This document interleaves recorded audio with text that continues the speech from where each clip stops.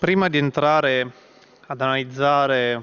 ciò che prevede il mio ordine del giorno numero 137,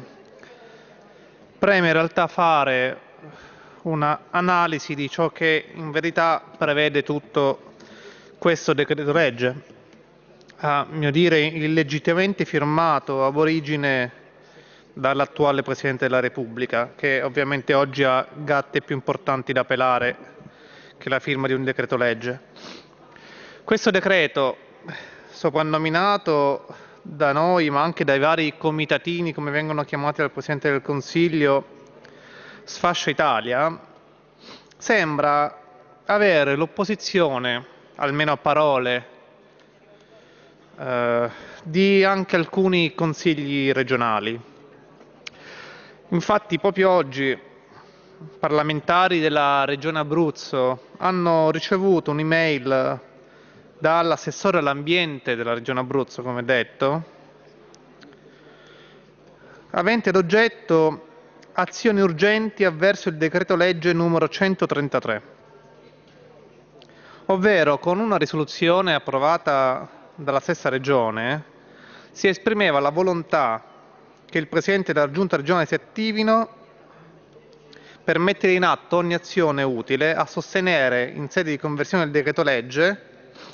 la tutela delle prerogative regionali. Qualora non venisse accolta la precedente richiesta, si chiede di impugnare per incostituzionalità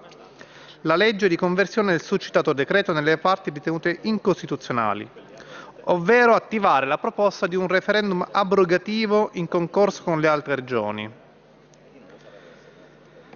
Ciò avviene anche per altre regioni, però è da dire che la regione Abruzzo, andata al voto a maggio di quest'anno, è una regione che ha la stessa maggioranza eh, di questo governo e di questo Parlamento che ha portato avanti sia il decreto, leg- decreto legge sia la conversione. Ora ovviamente noi non possiamo conoscere la sincerità delle parole eh, dell'attuale assessore all'ambiente nonché del Presidente della Regione Abruzzo, anzi personalmente dubito molto sulla sincerità di, delle parole di alcuni esponenti politici. Ma ad ogni modo anche il fatto che essi vogliano e debbano, almeno pubblicamente, mettere le mani avanti contro un provvedimento del genere dovrebbe far capire quanto in realtà eh, la popolazione tutta sia preoccupata dalla petrolizzazione che sta avvenendo anche grazie a questo decreto in Italia e che avverrà nei prossimi anni, eh, soprattutto nella nostra regione. D'altro canto eh, l'anno scorso vi è stata una imponente manifestazione di varie associazioni ambientaliste proprio contro una installazione petrolifera denominata Ombrina 2 davanti alle coste abruzzesi, in primis Teatine. Ebbene, questo decreto in realtà fa un incredibile indebito favore alle cosiddette lobby del petrolio e del gas e ci domandiamo cosa ne avrà in cambio il governo o i partiti che hanno, che hanno accettato queste pressioni o che hanno fatto leggi a favore di queste lobby petrolifere. Ad ogni modo, rientrando nel mio ordine del giorno, che in realtà riguarda una materia diversa, ovvero riguarda gli interventi di recupero del patrimonio edilizio.